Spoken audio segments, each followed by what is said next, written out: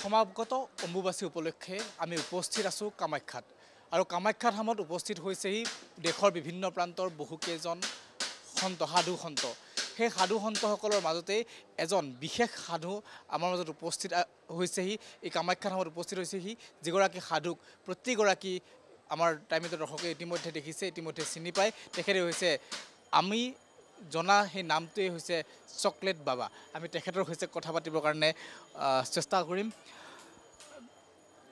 अम्बुबासी उपलक्ष्य आप अ, कामाख्या आए हो तो मैं पहले जानना चाहता हूँ कि अम्बुबासी का महत्व क्या है अम्बाबच्ची का महत्व यह है कि जैसे हमारे घर में हम लोग जिस माँ के अ, गर्भ में जन्म लिया वो माँ और बहन हमारे जो परंपरा में है वो हर महीने में एक बार रथशाला होती है और यह जो धरती के रूप में माँ कामाक्षा रथशाला होती है, साल में एक बार। ये प्रकृति, पूरे जगत जननी, ब्रह्मांड के जननी, जहाँ यहाँ से उत्पत्ति हुआ। ऐसे कहा जाता है कि ब्रह्मांड का जो प्रसव प्रजनन करने वाली ये माँ कामाक्षा है और यह धरती के रूप में माँ रथशाला होती है। और ये रथशाला काल में कोई अगर विशेष साधना करता है तो उसको अपना फल के स्वरूप में सिद्धि मिलती है। अब वो सिद्धि के लिए ही सारे भक्त यहाँ आते हैं। सिद्धि का अर्थ ये है, कोई विशेष चमत्कार नहीं। सिद्धि का अर्थ है कि अपना लक्ष्य को पूरा करना। सिद्धि का अर्थ है कि वो पक गया। जैसे हम लोग कुछ चढ़ाते हैं अंडी में, चाहे वो आलू हो या चावल हो तो भाई वो पक गया या सिद्ध हो गया तो इसी प्रकार सिद्ध होने का अर्थ है कि कोई कोई मान्यत लेकर के माँ के दरबार में आया। वो नौकरी की हो और किसी काम का हो तो वो मान्यता अगर सफल हो जाता है तो ये लोग यहाँ पूजा देते हैं बलि चढ़ाते हैं, कुंवारी पूजा करते हैं और साधु भंडारा करते हैं, नारायण सेवा करते हैं। तो ये जो सिद्ध हो जाता है, जो अपनी मनोइच्छा फल प्राप्त होता है, वही सिद्धि होता है। और यही साधक के लिए ईश्वर की कृपा लाभ करना, जो सिद्धि है, वो ईश्वर की कृपा, माँ की कृपा लाभ करना।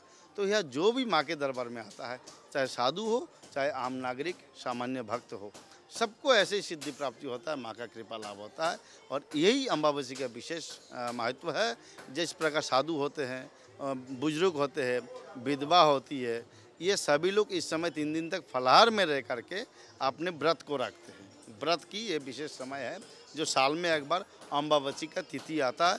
लगभग ये फिक्स्ड डेट है अंग्रेज़ी 22 जून से छब्बीस जून तक और आपके बांग्ला के सात आषाढ़ से दस आषाढ़ तक।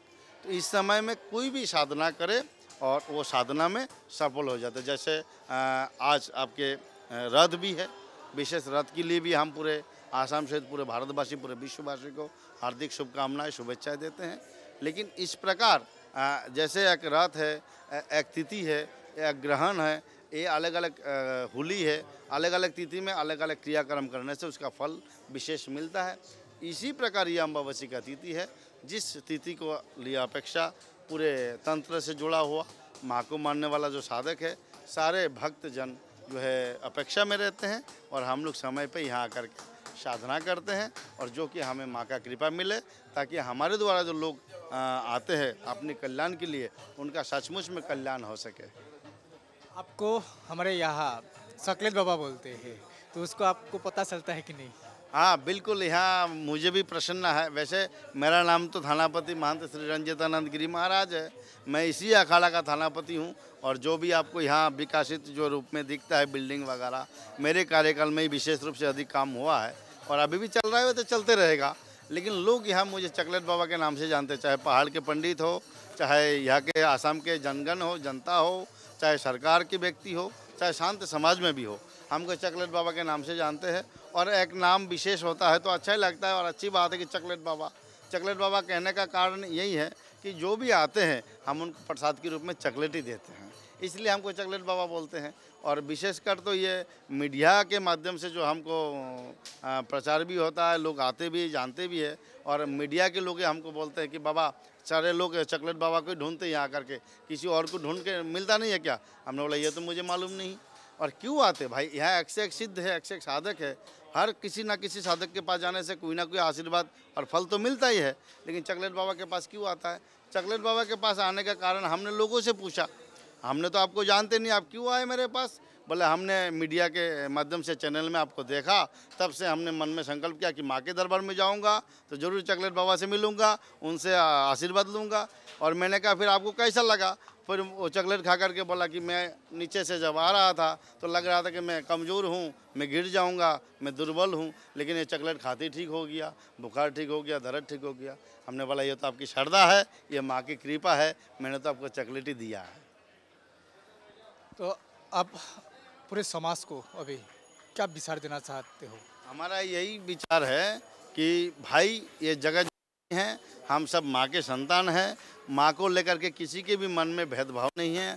चाहे जैसे हम शांत है, हमारी जगत अलग है, दुनिया एक तरफ़ और शांत समाज शांत जगत एक तरफ़। हमारी सरकार अलग है हमारी व्यवहार अलग है, हमारी नाम गोत्र अलग है। हम जिस दुनिया में रहते हैं, वो इस दुनिया से भी अलग दुनिया है। हम ईश्वर में मगन रहते हैं, ध्यान में मगन रहते हैं पूजा पाठ में मगन रहते हैं। हम ईश्वर में आस्था और भक्ति रखते हैं, समाज व्यवस्था से भी ऊपर, हम ईश्वर की सत्ता के ऊपर विश्वास रखते हैं। फिर भी जो हम सब में जो भेदभाव करते हैं, इंसान में या मानविकता में, हम वो भेदभाव खत्म हो और सभी को एक दर्जा मिले, भारत में तथा पूरा विश्व में। और उसी दरवाज़ा के अंतर्गत जो माँ के चरण में भी आए और सब अपने में व्यवहार करे। यही मेरी संदेश है कि प्रेम और भाईचारा और एक समान सब कोई अधिकार मिले, यही हमारे विचार है माँ के चरणों में।